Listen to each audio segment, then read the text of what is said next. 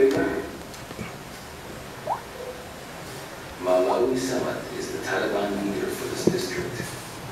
He's a powerful man, and government forces don't trouble him in this mountain stronghold.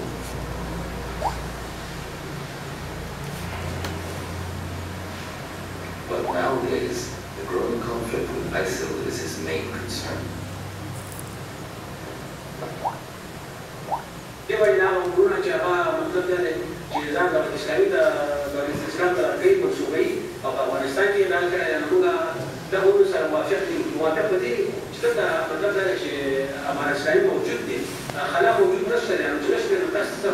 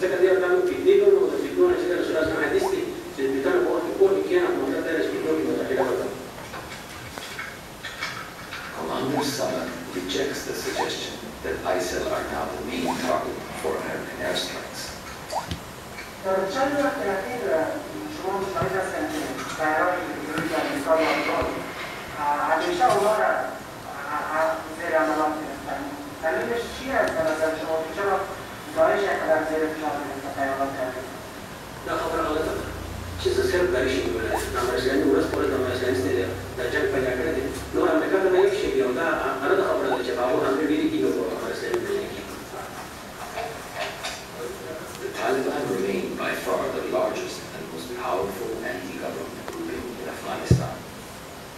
But increasingly, their fighters now have to defend territory from attacks by ISIL.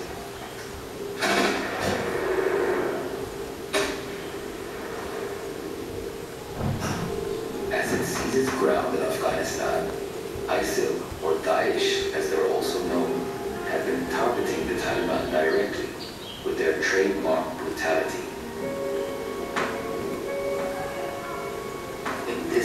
ISIL video, 10 men, thought to be tribal elders affiliated with the Taliban, are forced to kneel on landmines.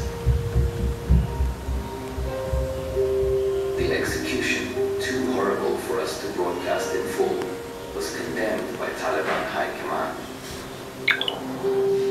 Such brutal actions, under the guise of ಹಿಂದೆ